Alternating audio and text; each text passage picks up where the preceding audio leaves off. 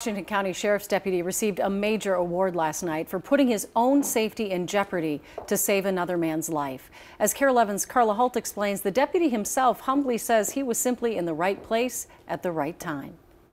As a law enforcement veteran of 20 years, Deputy Chris Majeski can identify a typical call for help. Stuff like this happens almost every day. But what happened overnight on June 17th both defied and benefited from his decades of experience. When I first arrived on scene, it was almost like the scene of a movie. Near Manning Avenue in Afton, the deputy discovered a dramatic crash. The wrong way driver apparently hit, then rode on top of a construction barrier, then struck a semi truck.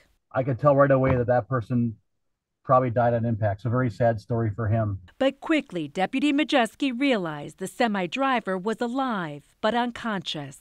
The pickup truck was completely engulfed in fire.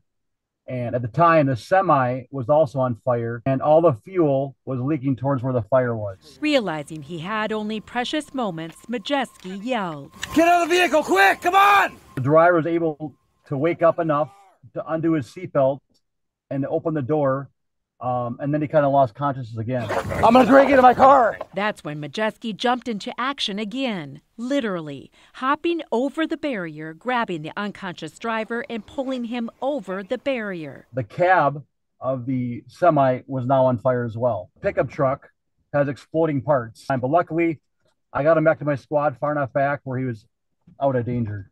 After answering calls for decades, Deputy Majeski realizes this was a close one. It was down to seconds, and you still managed to save this man's life. You know, I was I was put there by God for a reason, mm-hmm. and knowing having that knowledge is the best way to go, and having the skill set and the training to just pull that guy out was all an act of God.